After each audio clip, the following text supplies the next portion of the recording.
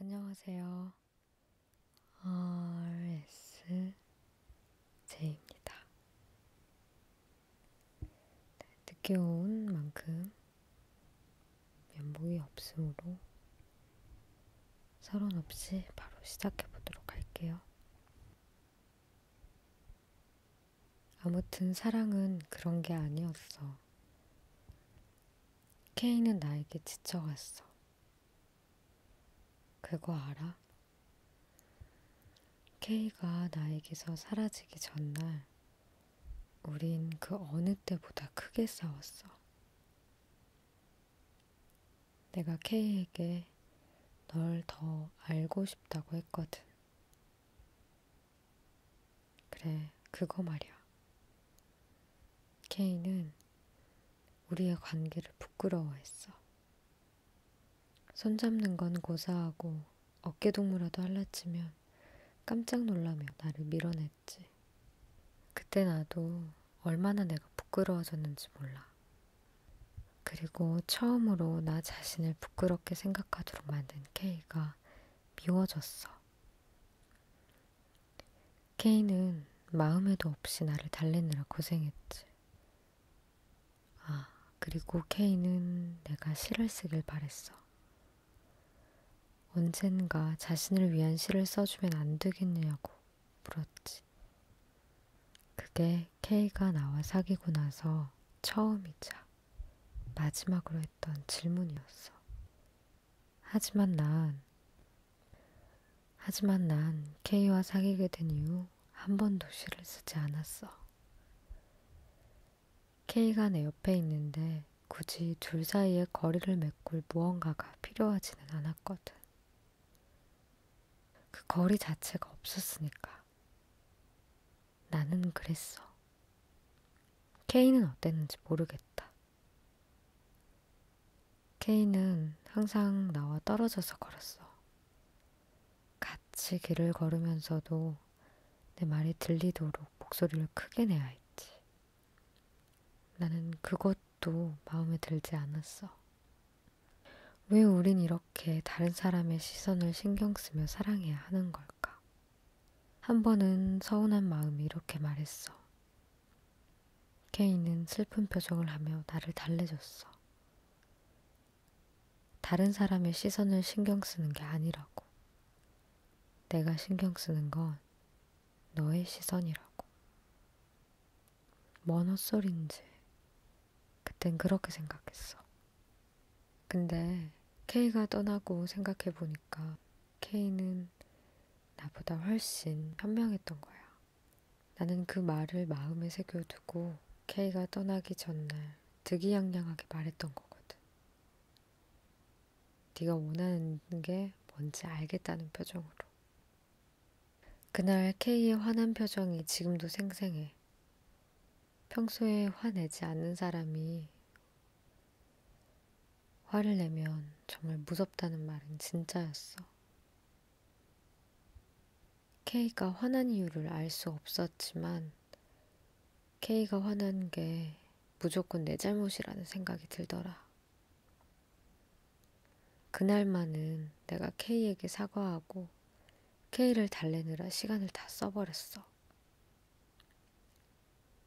K는 절대 자기의 집 앞까지 내가 배웅하는 걸 허락하지 않아서 버스를 태우고 케이를 보내는 마음이 개운하지 않았지. 새벽에서야 문자로 화내서 미안하다는 케이에게 바로 아침에 만나자는 약속을 받아냈어. 왜 그땐 깨닫지 못했는지 모르겠어. 사랑이 상대와 하나가 되는 것이라는 말은 상대를 소유해야 한다는 뜻이 아니었어. 소유할 수 없다는 걸 인정하고 상대가 소중하게 생각하는 걸 소중하게 생각하는 거. 상대가 지키고 싶어 하는 걸 지켜주는 거. 그게 상대와 같아진다는 의미였고, 그게 사랑이었어. 단적으로 봐도 내가 K를 소유하고 싶어 하는 마음에 내가 K의 소유가 되고 싶어 하는 마음 따위는 없었어. 내 사랑에 K는 없었던 거지. 나만 있었던 거야. 근데 말이야, 다시 누군가와 사랑을 한다고 해도 내가 그렇게 사랑할 자신이 없어. 나의 사랑은 그런 게 아니야. 더럽고 추잡해. 머리가 알아도 내 몸이 그걸 몰라. K가 나에게 슬픈 표정을 지었던 건 그런 나를 불쌍하게 생각했던 거야.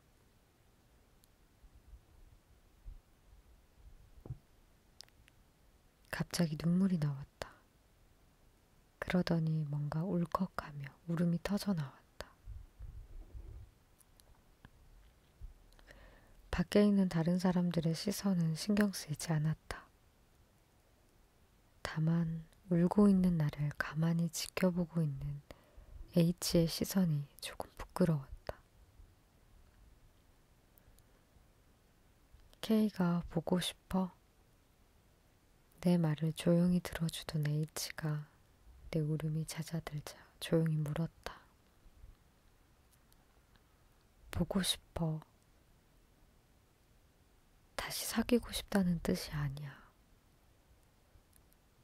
사과하고 싶어. 눈물을 닦고 감정을 추스르며 간신히 말했다. 그때의 나를 내가 부끄러워하고 있다는 말을 해주고 싶어. 그리고 K를 위한 시를 쓰고 싶어. 솔직히 이미 머릿속에 생각해뒀어. 쓰고 다듬기만 하면 될 거야. 1년 동안 삭혀뒀어. K가 보면 아마 좋아할 텐데. 직접 보여주면 되잖아. 안 그래, K? 나는 깜짝 놀라 커튼을 젖히고 바깥을 바라봤다. K는 없었다. 나는 이 상황에 장난을 치고 싶냐며 화를 내려고 H를 쳐다봤다. H는 나를 보고 있었다. 뭐 하자는 거야? H는 웃으며 여전히 나를 지그시 응시했다. 나는 H가 왜 저러나 싶어 고개를 숙여 내 몸을 쳐다봤다. 나는 어느새 K와 싸웠던 그날 K가 입고 있던 옷차림을 하고 있었다. 귀를 만져보니 K가 아끼던 해골 문양 피어싱에 딱딱한 감촉이 느껴졌다. 나는 커진 눈으로 H를 멍하니 쳐다봤다. H는 재미있다는 듯 여전히 턱 꿰고 미소를 지은 채 나와 눈을 맞추고 있었다. 아무 말도 나오지 않았다. 정말 K가 널 떠났다고 생각해? H가 말하기 시작했다. K는 사라진 게 아니야. 죽은 거야. 누가 그랬냐고? 당연히 네가 그랬지. K는 불타 죽었어. 네 마음 안에 있는 촛불 있잖아. 넌 K를 네 마음 안에 쑤셔 넣었고 K는 그 불에 타 죽었어. 불쌍한 K. 네 말대로 넌 더 이상 사랑할 자격이 없어. 넌 살인자야. 살인자가 사랑이라니 가당키나 해. 나는 H가 하는 말을 하나도 이해할 수 없었지만 어쩐지 H의 말이 너무나도 무서워 심장이 쿵쿵대기 시작했고 몸이 떨려왔다. 불쌍한 이유. 하지만 걱정 마, 내가 있잖아. H는 자리를 옮겨 내 옆자리로 와서는 나를 안아주었다. H의 심장이 나의 심장과 맞닿았고 고요히 뛰는 H의 심장은 터질 듯이 뛰는 나의 심장을 진정시켜 주었다. 나는 떨리는 목소리로 나를 안고 있는 H에게 물었다. 넌 누구야? 나? H는 나를 아는 채로 손으로 내 등을 토닥이며 고개를 돌리고는 내 귀에 속삭였다. 난 네가 들어왔던 모든 목소리야. 이 말을 하고 H는 손을 풀어 나를 마주보고는 나에게 입을 맞췄다. H의 입술은 K의 입술처럼 부드럽고 따뜻했다. 나는 눈을 감았다. 그러자 갑자기 머리가 아득해지더니 머리가 뽑혀 어디론가 빨려 들어가는 느낌을 받았다. 혼란스러웠다. 눈을 떴다. 가장 먼저 한 일은 시간을 확인하는 일이었다. 아침 8시 창문을 쳐다보니 아침의 환한 빛이 내 방을 밝히고 있었다.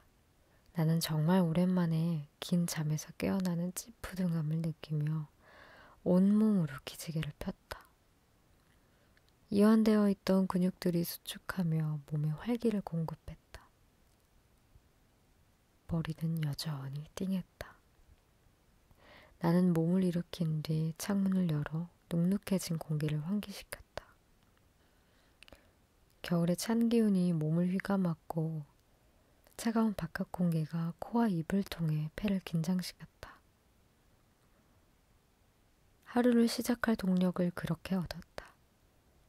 어찌된 일인지는 몰랐다. 중요한 것은 그토록 무서워했던 꿈의 미로에서 빠져나와 오늘 밤 보통의 잠을 잤다는 것이었다. 꿈이 하나도 기억나지 않았다. 오늘 나는 무슨 꿈을 꿨을까? 순간 궁금해졌지만 그러다 다시 그 미로 속에 빠지게 될까 도리지를 치며 생각을 흐트려 버렸다. 그러다 책상에 놓인 종이 한 장이 눈에 보였다. 이 순간을 맞지 못하게 될 것이 두려워 공포에 질린 채로 적어 놓았던 유서였다. 나는 유치한 그 글을 확인하기 위해 종이를 집어들고 읽기 시작했다. 그 글은 이렇게 시작했다. 꿈이 길어지고 있다.